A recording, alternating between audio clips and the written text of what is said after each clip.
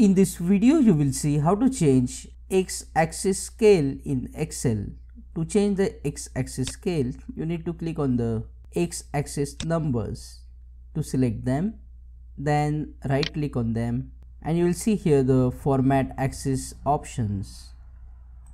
After clicking on it you will see this pane. Click on the axis options.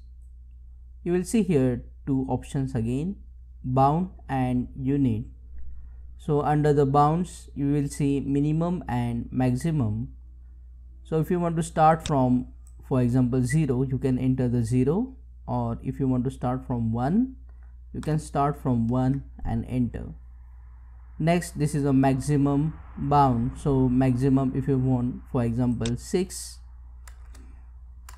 you can enter the 6 or if you want to end at the 5 for example then just enter the 5 as you can see here the x-axis numbers are 1 1.5 so if you don't want it in the fractions then under the unit under the measure you just select it here and enter for example 1 and as you can see the numbering starts from 1 2 3 4 5 in this way you can change x-axis scale in excel Click on that like button, comment below and let me know if this video solved your problem. And don't forget to check out these useful videos shown on screen related to Excel.